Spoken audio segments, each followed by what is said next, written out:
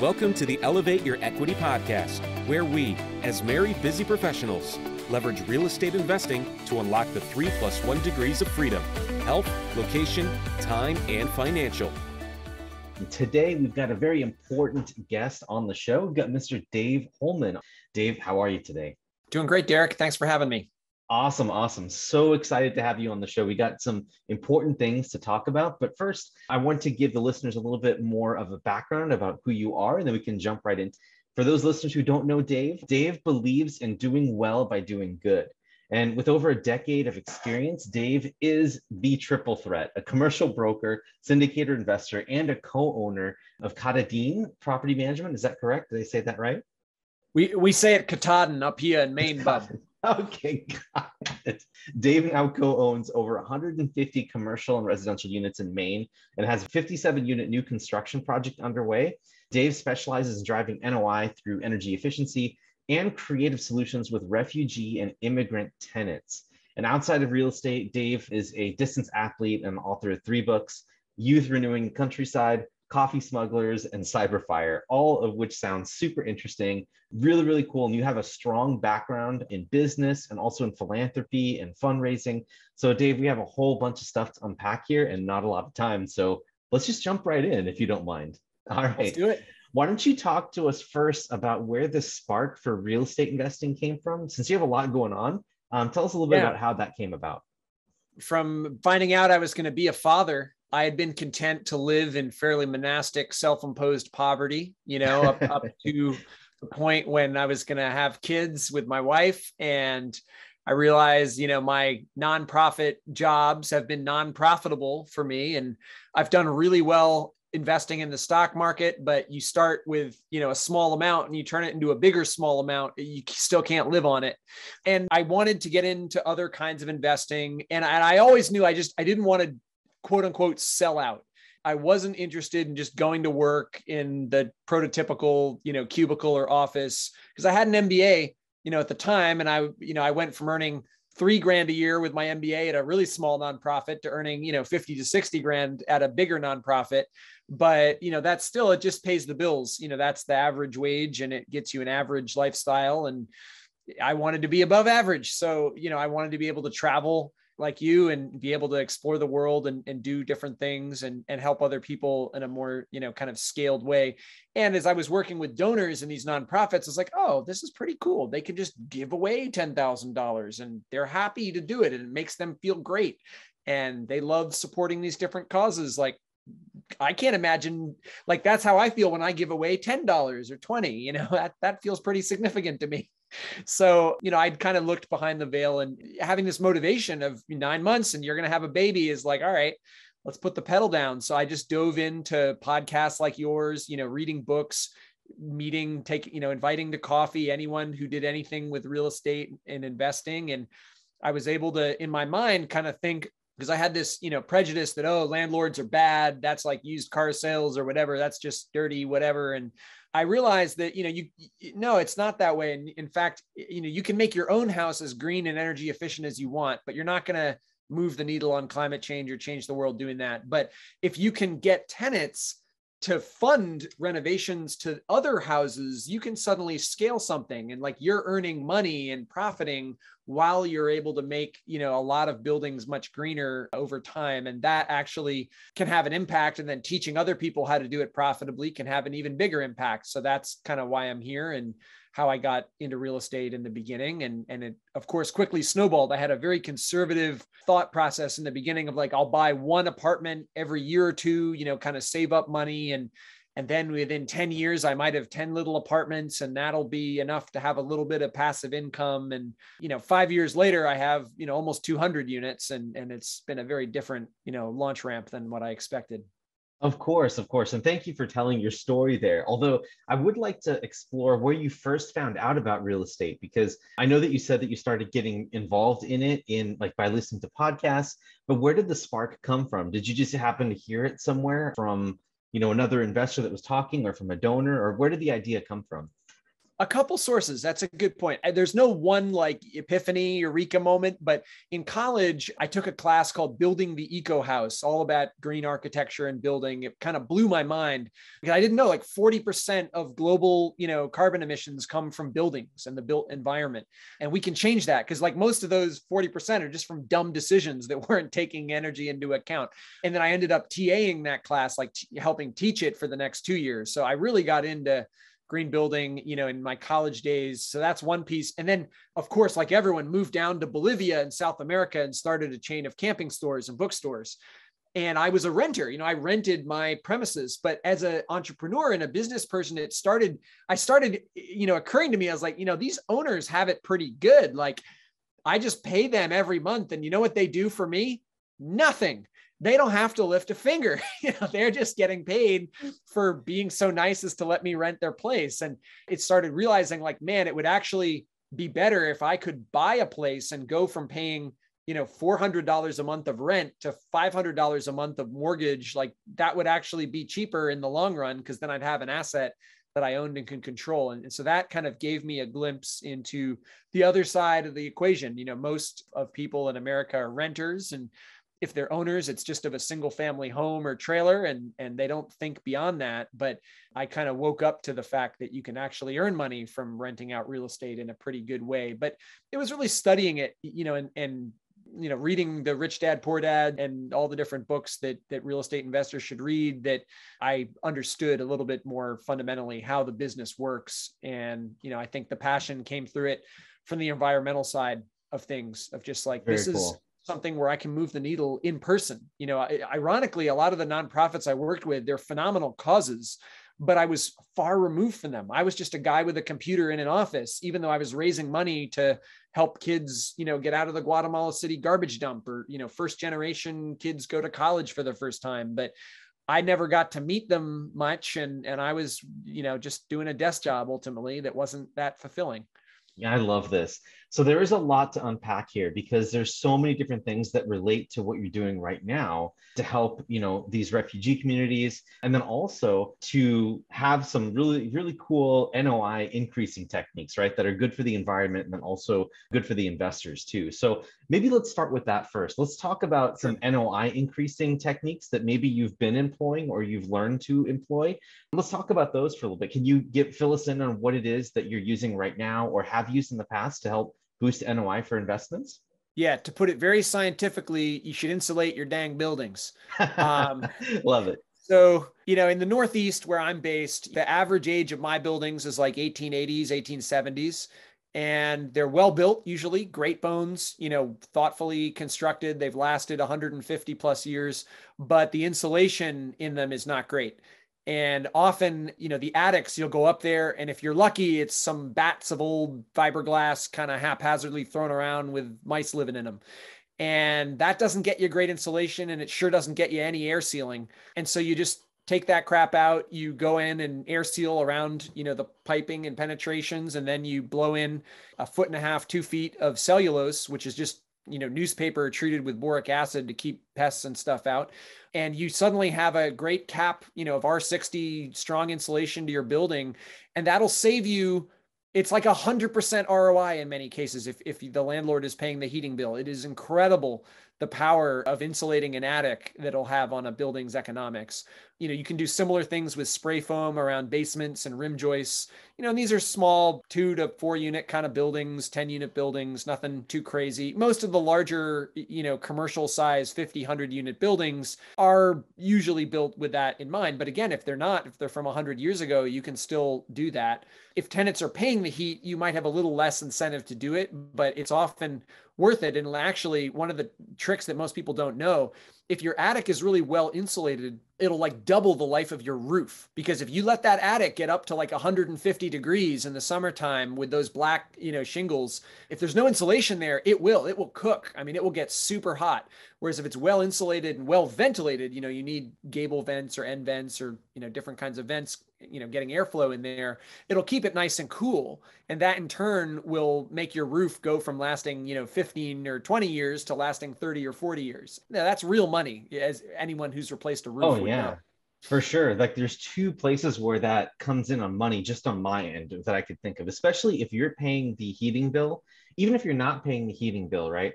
The amount of like the the capex investment that you put into an investment properties, especially up in the northwest and where I invest in the Midwest, you still have some of this effect here, where every dollar on NOI can be anywhere between 15 to 25 dollars in value in the end, right?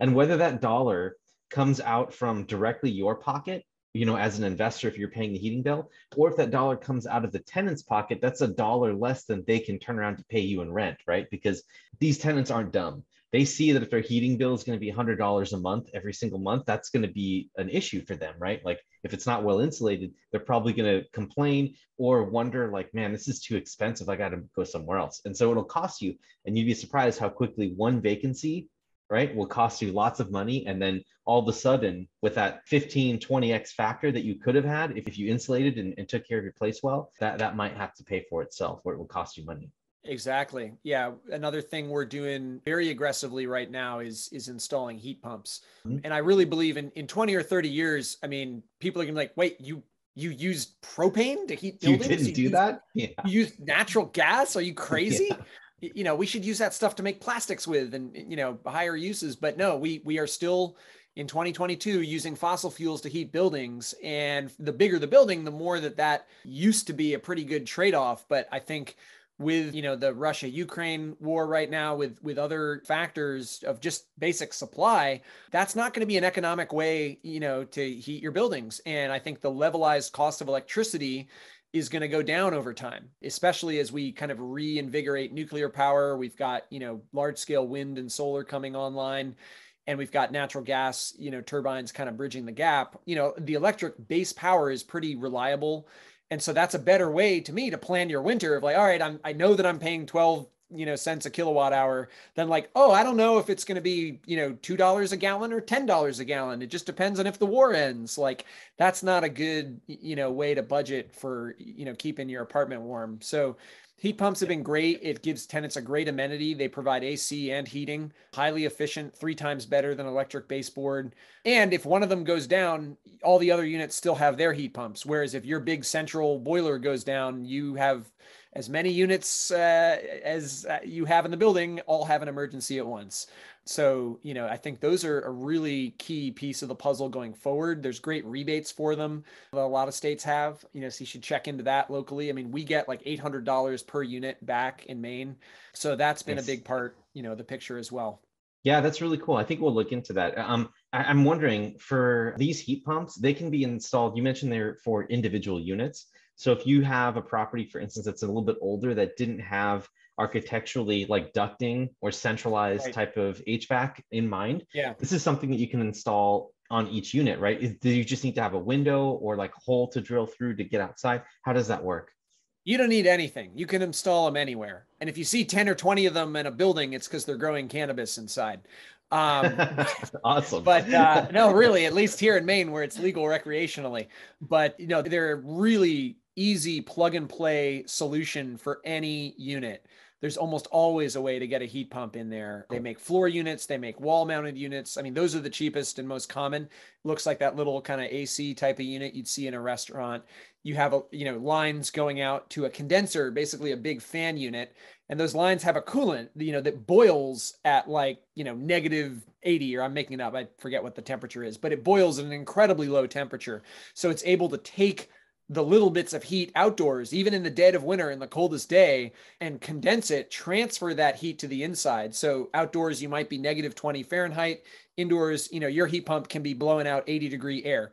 There's a cost to that. You know, electrically, you're going to use more electricity. The bigger that difference is but even so it's it's a really good form of heating and you would drill through the wall somewhere to get in but it's often in like a base plate or you can go in through a basement or on a backside of a building you know they're not super sightly so we keep them usually right off you know wouldn't put them right on the facade towards the street necessarily but there's almost always places to put them. And on big buildings with flatter roofs, you know, you often would have the condensers up on the roof and then the lines running down the back and into each unit.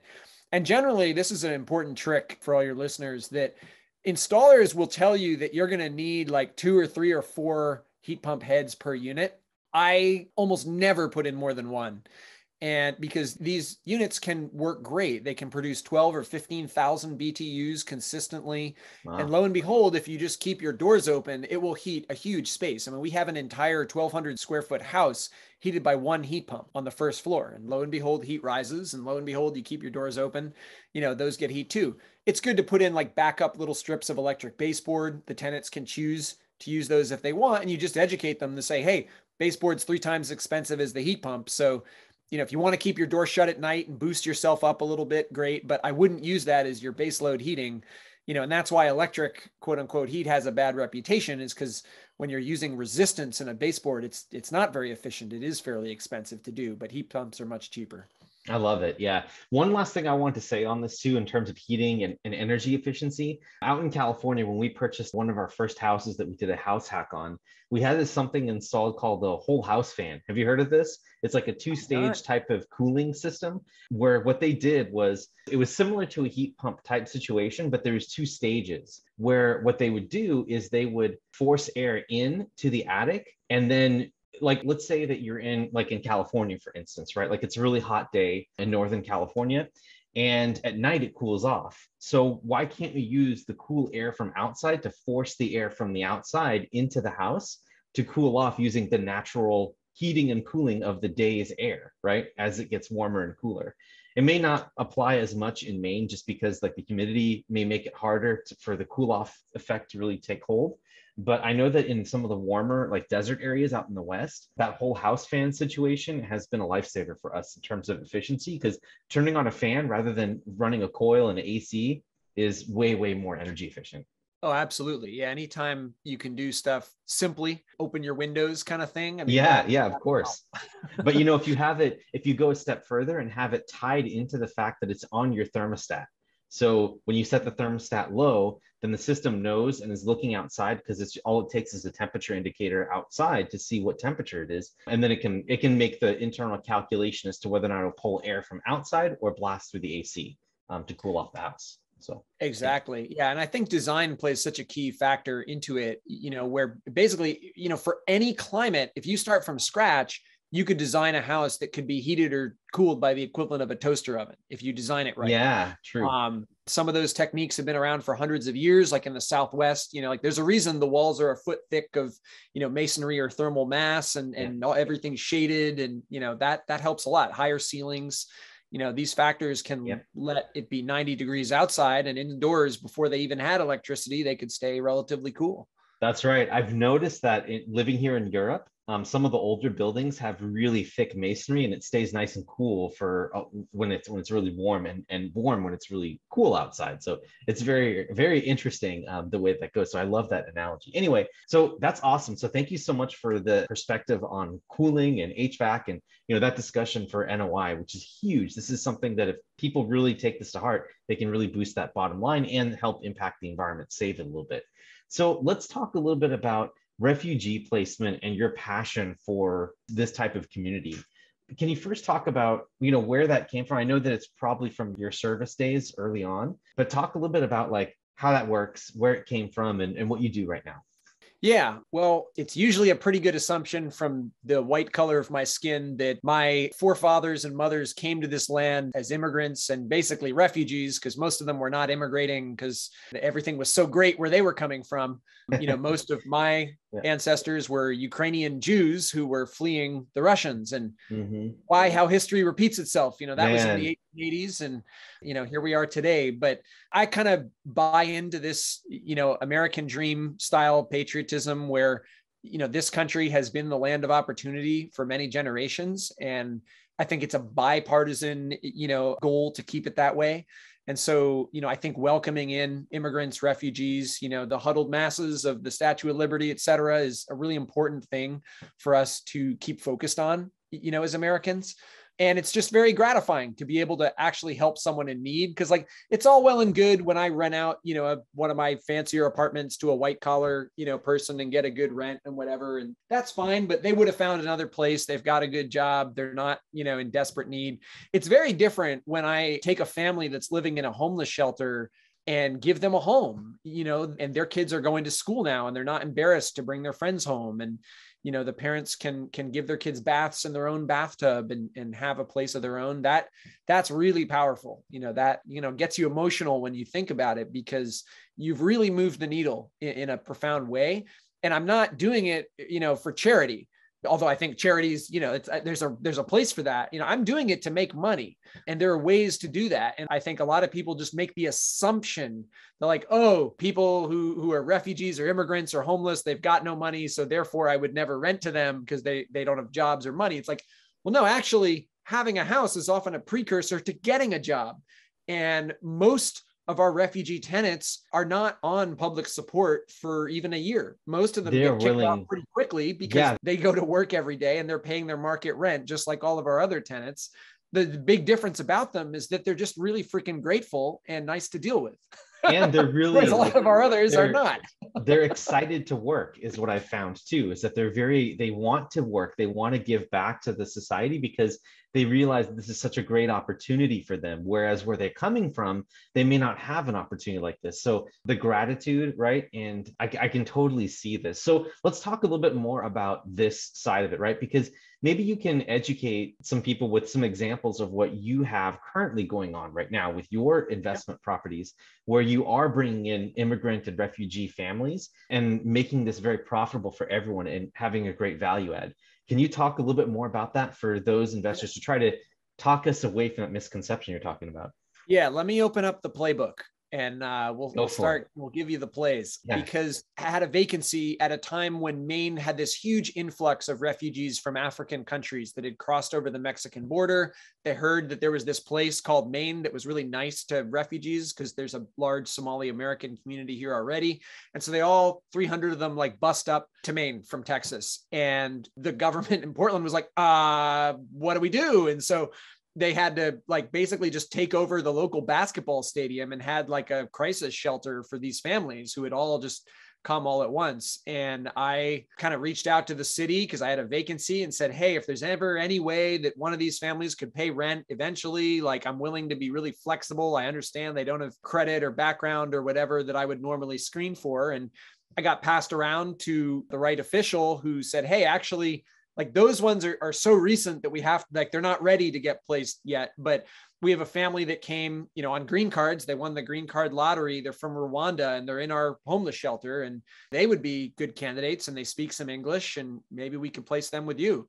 And the only problem is that all they had was like a little backpack of stuff and i had a vacant apartment with no furniture so I just posted on Facebook rather to my friends said, Hey, like we've got a family moving in from Rwanda next week and we need, you know, a bed, a chair, you know, this, all these different things. And lo and behold, people really wanted to help out. You know, they were just, it's so unsatisfying to like donate online or text to give to the Red Cross or whatever, where it's very satisfying to be like, oh, here are people that need silverware. I have extra silverware. Like, here you go you know, I think people do that very readily. So we cobbled together enough stuff for them and they fit in. Now we're working more, you know, with other agencies that actually there's whole furniture donation nonprofits that specialize in furnishing apartments for people that don't have furniture. So, you know, we partner with them. And there's programs like general assistance that most towns and cities have, which helps pay, you know, emergency rent for families in crisis, which these ones certainly are. And so that will often be the first couple months of rent or, or a year of rent while they're, you know, getting their paperwork processed.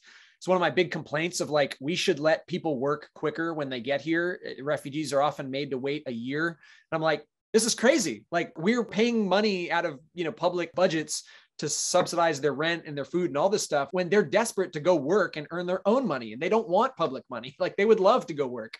And we're desperate for jobs. We have this labor crisis. Like there's so many reasons why we should let people that want to work work basically. So they get jobs, they get off, you know, these different programs and and start working within a year or two. And sometimes at that point they might want to move because they, you know, want a cheaper apartment. Sometimes they want a nicer apartment. Like you know, I've got one success story. One of these first Rwandan families we're now helping him purchase a multifamily building. Like he's becoming a real estate investor. You know, he's worked his butt off for two years. He's built up two years of credit history. Between he and his wife, they're working 120 hours a week. They got a little kid in the same daycare oh, as our son. And, wow. you know, they, they're truly just going after the American dream and, and they're very deliberate about it. And it's really fun to see people like that succeed. That's incredible. Thank you for sharing that story. Very, very uplifting. Now, I, and I appreciate this, and I can kind of get a feeling for, you know, if you can think a little bit creatively, you can really create win win situations where you have grateful tenants. And the biggest problem that we have as, you know, multifamily operators or just landlords in general, if you guys are at that stage, if you listeners are there, is vacancy. And if you have a grateful tenant that's there and you help them get into the situation, you better believe they're going to take care of your place. They're going to make sure that they pay rent on time, uh, or at least that's what I would feel like the tendency is towards, right? Let, let me let me take away the the rose colored glasses though because there we go. um you know both when we're taking refugees from other countries and when we're you know we've placed you know homeless veterans we've placed homeless families you know from this country i don't want to give anyone the illusion that they are easy tenants you know because they do require time to educate educating them about your expectations just about this general culture of like this is called a you know oven vent fan. You run it when you're boiling water and cooking and you don't fill the apartment with humidity. Like there are things that you don't learn in angola growing up that you do learn here that we shouldn't take for granted. So it's definitely trade-offs pros and cons but like you can get a very strong rent from tenants who you know have a pretty low index of like mental illness Whereas, I mean, maybe I'm getting unlucky, but almost every single tenant from the Section 8 program that I've ever dealt with has had some kind of mental illness or mental health issues that have made that relationship mm-hmm. very frustrating. Sure, um, I can imagine. Not that I don't take the program, not that I don't want to help, but it's challenging, you know, when you're basically the tenant's therapist and social worker as well as their landlord, because that's how they what they're throwing at you. So there's different pros and cons, but you're right that the refugee, you know, community by and large, very appreciative of what you know you're giving them, and they need it, and, and the need is very real. You know, these are families with kids, eh, oftentimes, sometimes lots of kids. You know, we just placed our fourth family from Afghanistan, you know, which is also really cool, I think, because you know these are all like basically veterans, you know, from Afghanistan mm-hmm. that were helping you know our troops there, and then we kind of pulled up stakes and left very abruptly. And a lot of them had to flee you know because of dangers to their families and are now coming here. And what i think is kind of ideal to do we've got two different situations you know where these families are living right next to each other so you know there's two houses where they're right next to each other and then we've got another apartment building where they're right next to each other but i think there is some nice comfort that they're able to provide for each other because like oh there's someone next door that speaks the language we've seen a lot of cases where like one person will watch, you know, three or four kids while three or four adults are out working. You know, those can be really helpful situations rather than like, oh, I'm the only one who's a refugee in this whole building.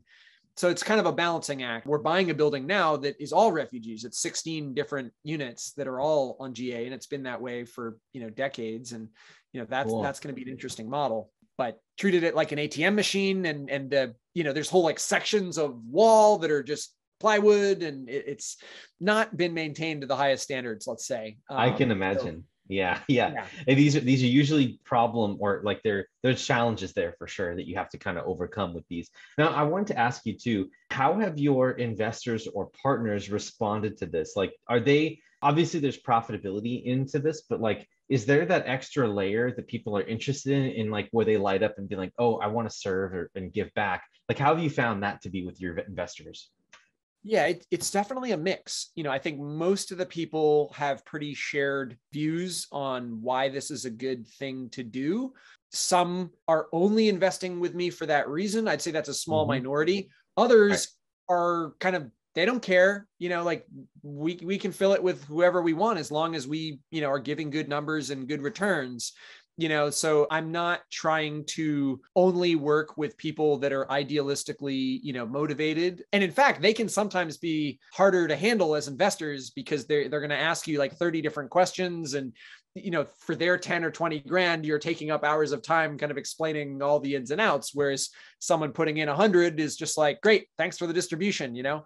So there's two sides to every coin. But yeah in general i think we're really proud of, of what we do because you know, I think uh, most of my friends and, and, family and now their friends and friends of friends and people, you know, from podcasts, they would love to both earn a good return on their money and know that it's making the world a better place. And when you oh, give yeah. your money to uh, Tim Cook at Apple and you invest in Apple stock, you can't tell Tim to like make the roofs nicer and do stuff or give input or get like little personal notes about it. So I think real estate investing, particularly the kind where we're every building we come to you know, it's kind of this, you know, Girl Scout, Boy Scout mentality of like, we're going to leave that building a heck of a lot better than we found it.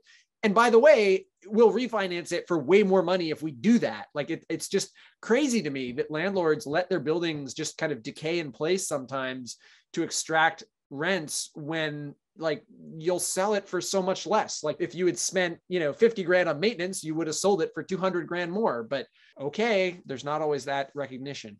I think, you know, if people understood that and they really, really understood it, they wouldn't have the desire to do something like that. I mean, no one would, right? But I just don't think that some of these landlords think like that. That's unfortunate. And, if, and the good news is that it creates opportunities for us, but the bad news is that sometimes these tenants have to suffer, right? Because they're they're living through this situation. They can vote with their feet, but man, you know, sometimes it's really hard to move when you're working jobs and you, know, you got kids, and it's really really difficult to do all that. So yeah. yeah when, when i'm trying to make an acquisition you know what i'm really looking for is buildings that are are mismanaged yeah because it's mm-hmm. very hard to change the neighborhood the location the bones of the building like you can't change those things but the management you know if they've let rents slip way under market even if they were at market they're low because they've let the units decay into crappy units in a really nice location like that is a great situation to be able to uncover and be like oh wait a minute even though they're selling it for a low, low cap rate, they're getting way too much money for the current rents they have.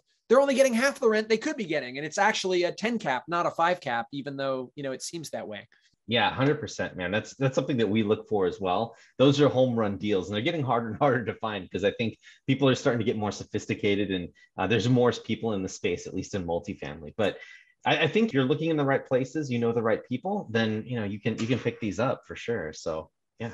Yeah, I'm very much of the mind of like if, if you're complaining that there's no good deals, you're not out there trying not to find enough. them because yeah. we're in this era where like the baby boom and you know greatest generation are, are all you know divesting of their properties. They don't want to be active managers anymore. They don't want to deal with tenants. They're selling.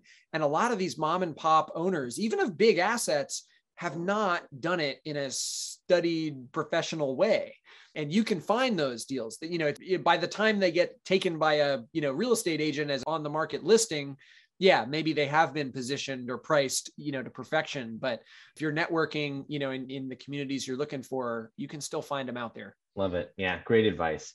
Last question i have for you before we head into the rapid round of the final segment of our show is how would you recommend investors out there maximize their return on impact it seems like for you, you've been able to really finesse this in two different directions. One from the point of view of NOI, right? By being economically efficient and just being good for the environment. And then the other with finding the right tenants and the right demographic for the building that you're looking to do that fits into your business plan and also serves the greater good. So, coming from those two different angles, how would you recommend some people, if they wanted to do what you're doing, find a way to maximize the return on impact. Do you have any advice for them?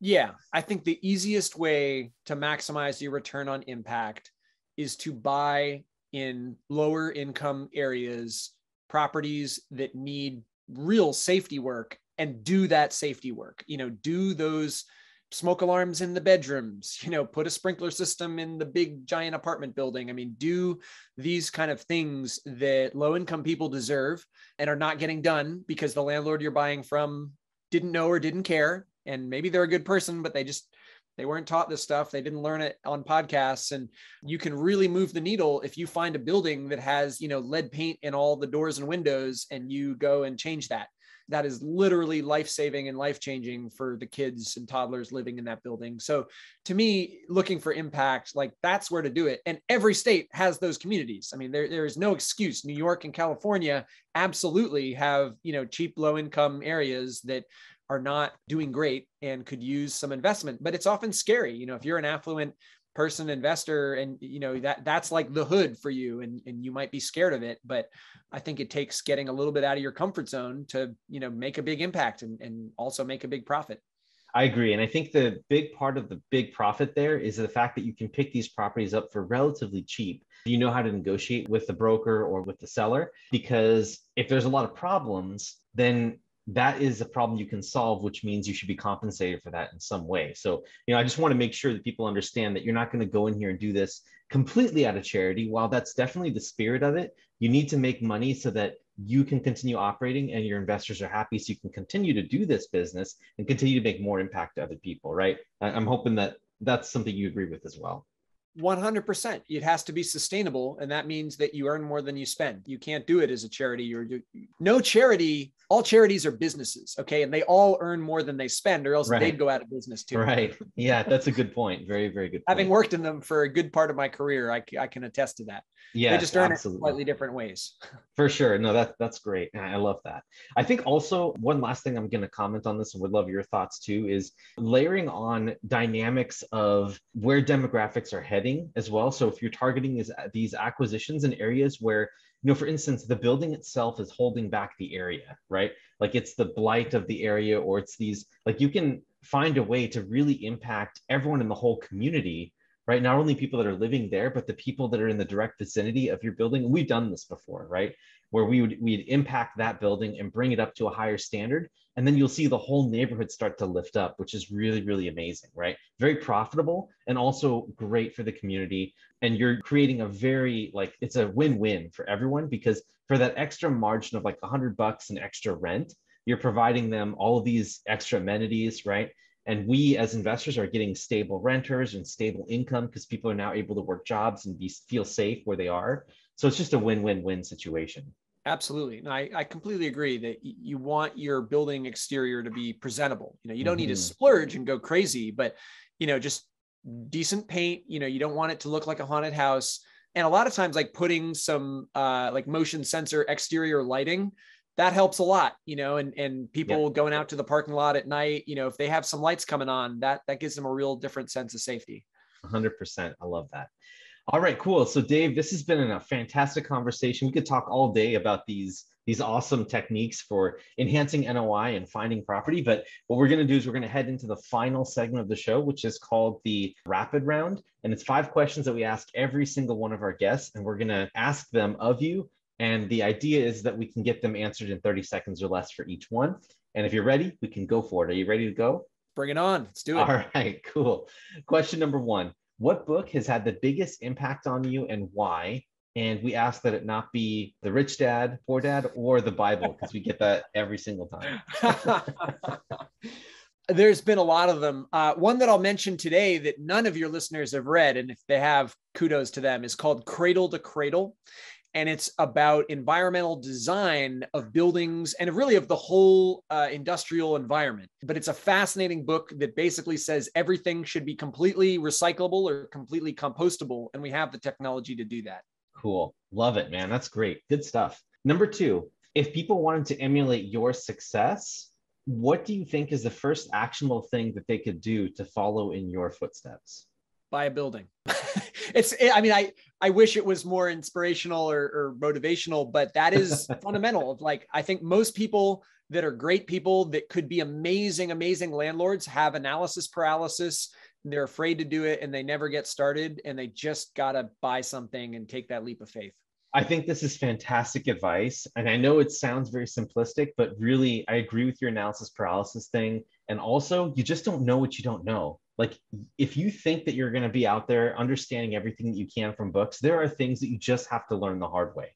And once you realize that and take the action, make it happen, you'll start learning faster. And then your growth curve will be way, way way much much improved from the other tell people most of the worst case scenario is that you'll sell it for about what you bought it for yeah exactly love it love it number three what is one tool process or hack in the last three to six months that you have employed to help you save time and or effort yeah, our team had this productivity software called Asana, which is kind of like checklists and so forth. But we weren't really using it because we are all just so busy that we were kind of neglecting it and we've had uh, one of our back end like you know virtual assistant members just do a quick five or ten minute interview with each of us once a week to update those lists. And it's been really transformational and helpful at least for me and i think for the rest of our team to have a little helper come in and help you stay on track. What a great thing. I use asana for tracking work with my assistants um, and also with my own team members and using it as like a hub for SOPs and also for tasks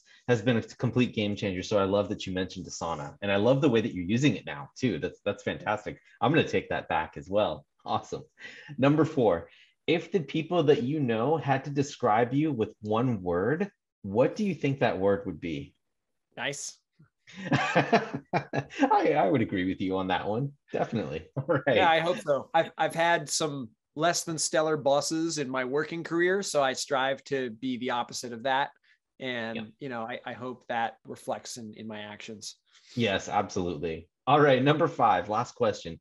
What small thing do most people not know about you?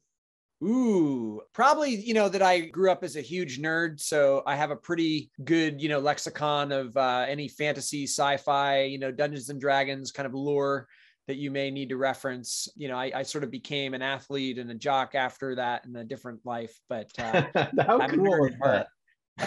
very very cool. Well i'm sure there's going to be some people in the audience that's uh, that would love to reach out to you and, and talk more about that for sure. And I, I may be one of them. So maybe we'll talk a little bit after the show. There we go. Would love to. Would love to connect yeah. with you and anyone listening Sounds good. All right. So, Dave, thank you again so much for coming on the show and providing us with all this wisdom and perspective on how to provide impact both on the NOI side with environmental type approaches and then also working with communities that really want and are thankful for these amazing projects that you're putting together. How can people find out more about what you have going on and just you in general?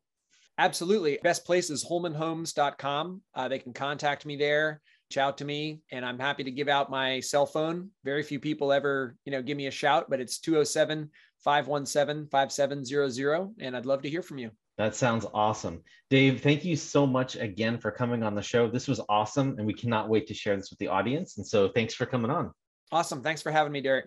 Take Absolutely. Care. And for you listeners out there who have listened all the way to the very end, we want to thank you especially. And please, wherever you're listening or watching this podcast, whether it's YouTube or your Stitcher, iTunes, Spotify, please make sure that you like, review, or you comment with us, engage with us so that we can appease those algorithm gods and start to get more and more exposure to more people and bring on incredible guests like Dave. And so we can keep the podcast going. So thank you guys for everything.